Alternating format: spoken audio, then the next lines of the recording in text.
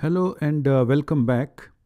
So in this uh, video we'll uh, have a closer look at confusion matrix for both uh, training and testing dataset and we'll also do calculation for misclassification error once again for both training and testing dataset.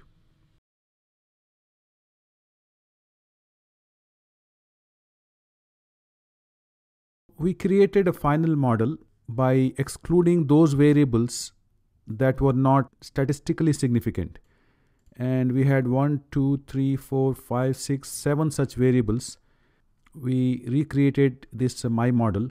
Now we can make use of this model, which is a multinomial logistic regression model, and do calculations for confusion matrix. So the first one is for training data. Let's uh, predict using my model and our data set is going to be training and let's store these predictions in P. So P has predictions. Uh, if you want to look at what is contained here, we can say head P. So it gives us predictions for first six patients. And if you want to compare this with actual outcome, let's look at head training and we want to look at NSP variable. So you can see that first patient is predicted to be 1. NSP equals 1 means a normal patient and in reality also this patient was normal. Second and third also were predicted to be normal and actually they were normal. Next patient uh, was predicted to be 3 so which is pathologic and this is also a correct prediction because actually also this patient was pathologic. Next patient again 3 and this is again a correct prediction. But the last one is predicted to be 1 which means normal but in reality this uh, patient was pathologic. So out of 6 predictions we see that 5 are correct and last one is not correct.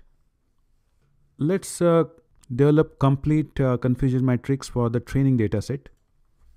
So what we'll do is we'll create a table with P and training dollar NSP. So we can store this in say tab and then we can run tab. So this is the confusion matrix that we get with actual values here and prediction on the left side. So there were 965 patients who were actually normal and the model also predicted them to be normal. So this is a correct classification.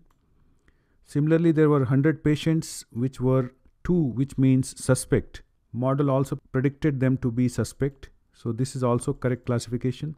And 85 were actually pathologic and model predicted them to be pathologic. So this is also correct classification. So numbers on diagonal are basically correct classifications. All other numbers are misclassifications. So there seems to be many misclassifications, but uh, most of the time we have correct classification.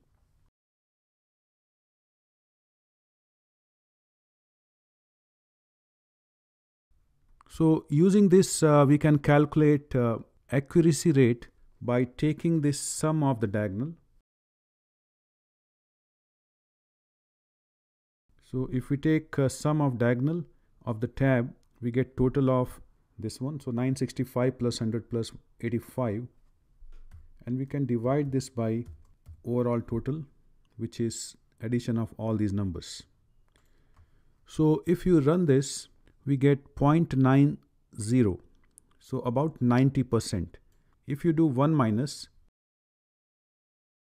we get about 9.9%. so this is misclassification.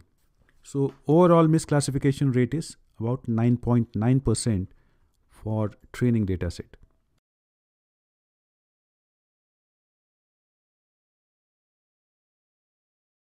So we do a similar calculation and store this time in P1 because we already used P.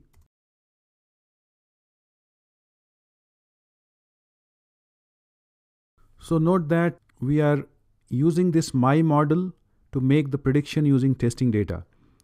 And our model is completely based on training data set. It has not seen any data from testing data set. So the real test of the model is with this new data, which it has not seen. Note that we never make a model using testing data. We make it based on training and use that model for testing data. So let's run this and then we create a table of P1 versus NSP and let's store this also in tab 1 instead of tab because tab we have already used here. So I'm going to use tab 1 so now if you run tab 1 we get confusion matrix.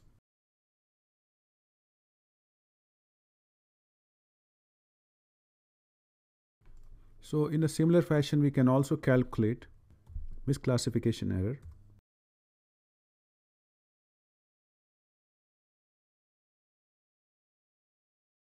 So misclassification error turns out to be 10.9%, slightly more than what we had for training data. So there we had about 9.9%. So now it is about 10.9%, about 1% more than the training data set. So this is how we calculate confusion matrix and misclassification error for training data and test data. In the next video, we are going to look at prediction and model assessment